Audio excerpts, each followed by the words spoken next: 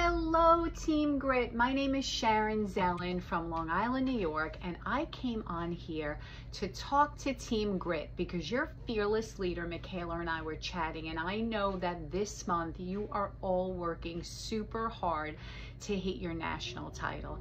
And just in case you forgot, Team Grit means you guys, you got grit, you got heart, you can do whatever you need to do to get the job done, just in case you needed a little reminder. So I wanted to pop on here to tell you guys, we need you. We want you. It is such a valuable place to be. Michaela gets all the ins and outs before everybody else does. You want to remain a national team, and I know you guys are all working really hard to do that. So I wanted to just come on and give you a couple of tips Sometimes you hear something and you're like, oh, I haven't done that before. So let's just rattle off a couple of things. So a Cinderella challenge. If you haven't done that, the first time I did one, mine was like over $5,000. And Michaela will explain that, you know, the details if you need any, or you can reach out to me. It is super simple you just send out a project broadcast, or if you don't use project broadcast, a customer connection email multiple times during the week that you're running this, and you just ask them to make a purchase from your $25 and under link, which is on everybody's website.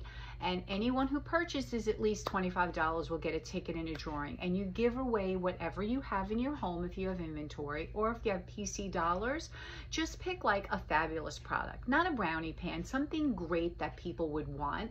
So if you have it, great, maybe one of the electrics that you haven't used or, you know, given as a gift, or PC dollars, pick something great and that's a Cinderella challenge. And people love to be involved in like a contest and they will make a purchase and most of them make way more than a $25 purchase. So the sales on that rises really quickly.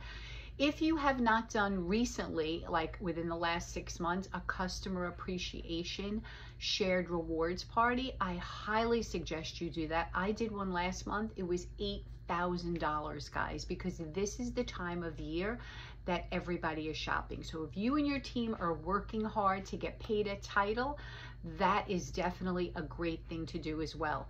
Turkey Trot.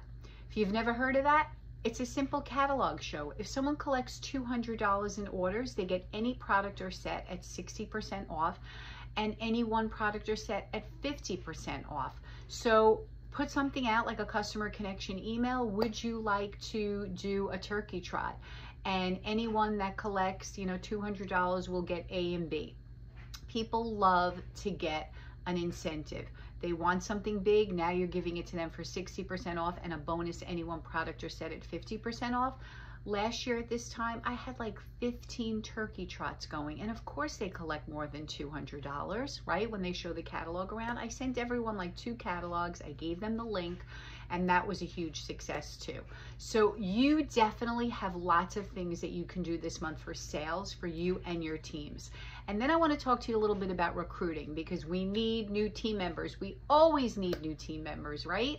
So with this $25 kit, I'm going to encourage you guys, your friends, your family, who's looking for some extra income for the holidays. In the next five, six weeks, someone could realistically earn a $1,000 and more so that they can have a debt-free Christmas or Hanukkah. So I'm going to encourage you to ask your friends and family, right? There are signs up all the time, holiday help needed, hiring for the holidays. So are we at Pampered Chef. So make sure you're asking friends and family. Make sure you are making a promise to yourself that you will ask your host five times. Just because they said, oh, I don't know, the first or the second time you asked them, it doesn't mean that's a hard no. A hard no is one thing. I'm never obnoxious and I don't ask after a hard no. But if someone's like, I don't know, I'll see, it is our responsibility to keep going back and offering that opportunity until you submit that show. So let's make a promise that we are going to ask our hosts five times until they say no all of the guests in your party, when you send a thank you message, right? We all remember to say thank you and ask for a booking. How about in that thank you message saying, I'm looking for great people to join my team. Are you interested in a side gig? Are you interested in earning some extra money for the holidays? So ask everyone. I promise you guys, this is the time of year people are looking for extra money. So Team Grit, we got this. We're going to come together because you didn't get the name Team Grit for no reason. You guys got what it takes and we can do this. If you need any help, reach out to me. Bye guys. Have a great November.